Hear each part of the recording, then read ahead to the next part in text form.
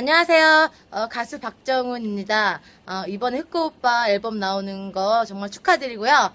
음, 대박 나세요. 그 저도 이번에 제가 뮤지컬을 데뷔해서 어, 뮤지컬을 하는데 자 보여주세요. 빨리빨리 보여주세요. 자, 빨리 인사해줘. 안녕. 화이팅! 멋있어요. 우리 네, 뭐, 우리 뮤지, 네. 뮤지컬 말해야지. 아, 저희는 레미제라블입니다. 안녕.